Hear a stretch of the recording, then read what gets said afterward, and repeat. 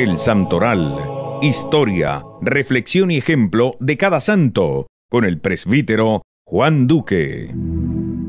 Conozcamos en este día la historia de el arzobispo humilde. Hoy, 22 de septiembre, recordamos la vida de Santo Tomás de Villanueva. Cuando llegó a Valencia, una noche, en medio de terrible aguacero, acompañado solamente por un religioso de su comunidad, pidió hospedaje de caridad en el convento de los padres agustinos, diciendo que le bastaba una estera en el suelo para dormir. Cuando los frailes descubrieron quién era él, se arrodillaron a pedirle su bendición.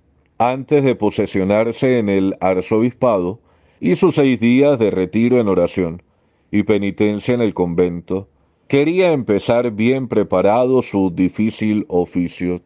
Algunos lo criticaban porque usaba una sotana muy vieja y desteñida, y él respondía, lo importante no es adornar este cuerpo, que se lo van a tragar los gusanos en una sepultura.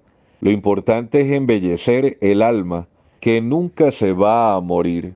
Lo que más le interesaba era transformar a sus sacerdotes, a los menos cumplidores, se los ganaba de amigos, y poco a poco, a base de consejos y peticiones muy amables, los hacía volverse mejores.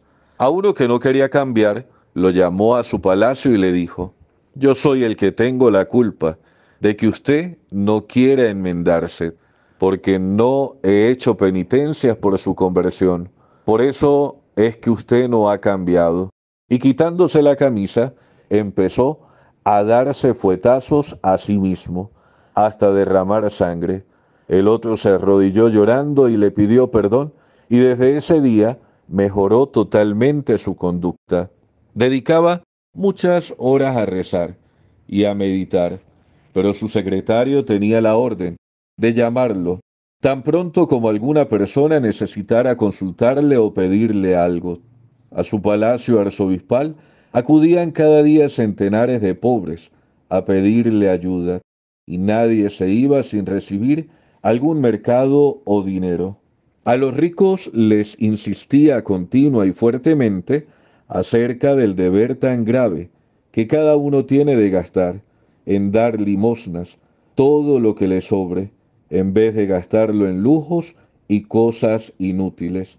Decía a la gente, ¿en qué otra cosa puedes gastar mejor tu dinero que en pagar tus culpas a Dios?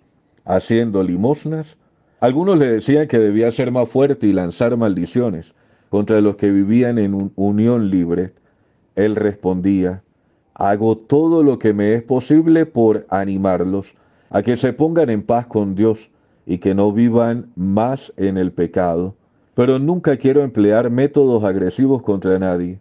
Si oía hablar mal de otros, respondía, quizás lo que hizo fue malo, pero probablemente sus intenciones eran buenas. En septiembre de 1555 sufrió una angina de pecho e inflamación de la garganta. Mandó repartir entre los pobres todo el dinero que había en su casa, hizo que le celebraran la Santa Misa en su habitación exclamó, Qué bueno es nuestro Señor, a cambio de que lo amemos en la tierra, nos regala su cielo para siempre. Y murió a la edad de 66 años. Gracias Señor por estos santos tan admirables.